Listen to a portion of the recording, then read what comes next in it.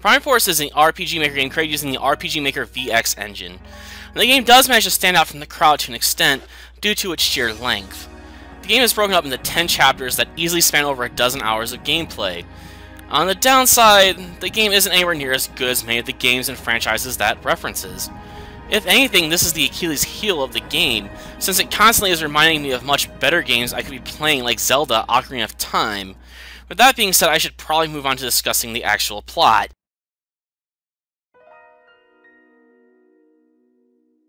Plot-wise, the story follows the adventures of Vincent Watkins, a Sky captain, who quickly finds himself under attack by raiders early on in the game, but some of the technology used by the raiders makes him believe that someone from Thalasia is involved.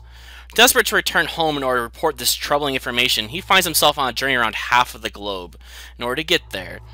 Along the way, he encounters numerous enemies, ranging from meager grunts to serious threats to him ever seeing his home again.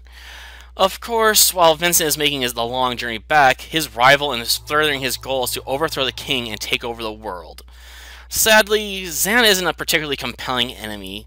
His reasons for desiring power are never really delved into, and this makes him feel extremely generic and uninteresting.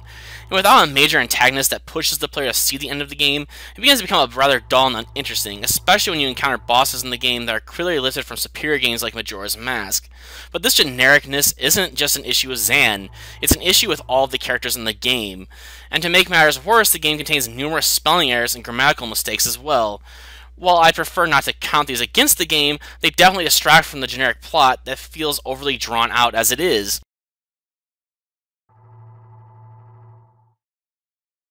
Gameplay-wise, the game features an active time battle system. On the plus side, the player can easily switch this system into passive mode, which is a definite saving grace in my opinion, considering my deep-seated hatred of the active time battle system. But I don't want to go into that again since I already talked about that in Aetherion. So the game definitely took a step in the right direction as far as I'm concerned by allowing the player to switch between the two modes, since they can appeal to fans of the active time battle system, or those that prefer traditional turn-based combat like myself. Another plus for the game is that the battle system is rather well balanced for the most part. The only attack that seems like a serious threat to the game balance is Bruce's ultimate attack that is learned at level 40. But I didn't unlock that attack until it was time to take on the final boss, so it doesn't really have that much of an impact on the game unless you're willing to spend hours on grinding in order to get it early. If you go out of your way to break the game, then you can hardly complain about it. On the negative side of things, the game never really provides the party with a healer that both excels at casting healing spells and removing negative status effects until late in the game. And at that point, you'll probably stick with Valence since he'll have better group heals and be noticeably higher in terms of levels which means you better be willing to splurge quite a bit of cash on antidotes and remedies if you wish to make any significant progress in the game, since there are a lot of regular enemies that can inflict poison on your party, and this stat effect never appears to wear off until you use an antidote. And to expand upon my issues with the game, it also contains many bugs. The most common which is that you can walk over underneath objects that should be impassable. And no, this doesn't make up for certain NPCs like the butterflies that get in your way during your adventures in Gloomwood. Another minor bug is that you can trigger certain events multiple times if you walk on the same square. Sadly, the game does contain one major bug where you can go from Chapter 9 all the way back to Chapter 1 by entering the bar. I'm not sure if this happens if you enter other buildings during the chapter, but it is something that definitely needs to be addressed.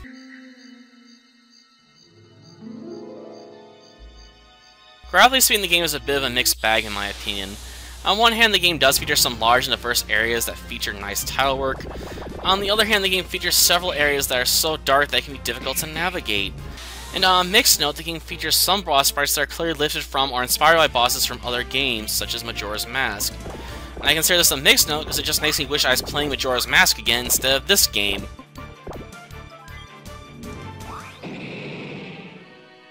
Soundwise, game features a rather diverse set of tracks that are taken from various shows and games like Naruto, which only goes back to the whole issue of this game referencing superior material. Even on the sound effects side of things, this is an issue, since one of the sound effects is the distinct howl used by the Wolfos in Ocarina of Time. This isn't to say that the music or sound effects are bad, but they just make me wish I was playing something else.